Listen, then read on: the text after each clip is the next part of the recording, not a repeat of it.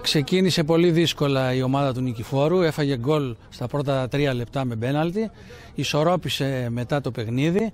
Κατάφερε και ισοφάρισε. Και στο δεύτερο ημίχρονο ήταν καταγιστικός και έβαλε τέσσερα γκολ. Ε, συγχαρητήρια στα παιδιά σε όλα. Κάνανε μεγάλη προσπάθεια για το αποτέλεσμα. Ε, συγχαρητήρια και στο Δήμο Καπανδριτίου που στηρίζει την ομάδα όπως έχω μάθει και ελπίζω όλα τα χωριά να κάνουν το ίδιο πράγμα. Να μπορέσουν να ανταπεξέλθουν, να φτιάξουν τα γήπεδά τους και να βοηθάνε το κάθε χωριό να βοηθάει την ομάδα του, ο κάθε δήμος να βοηθάει την ομάδα του και ελπίζω του χρόνου οι ομάδες που έχουν σταματήσει να επανέλθουν ενεργά στο ερασιτεχνικό ποδόσφαιρο. Θέλουμε και τις, όλες τις ομάδες που έχουν σταματήσει να, του χρόνου να συνεχίσουν και να προσπαθήσουν να κατέβουν στο γάμα τοπικό, να ξεκινήσουν να κάνουν μια καινούρια αρχή.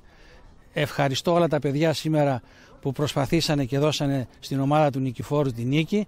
Ήταν δεύτερο αποτέλεσμα που ανατρέψαμε, δεύτερη αγωνιστική, δεύτερη αγωνιστική που ανατρέψαμε το αποτέλεσμα και κερδίσαμε εκτός έδρας.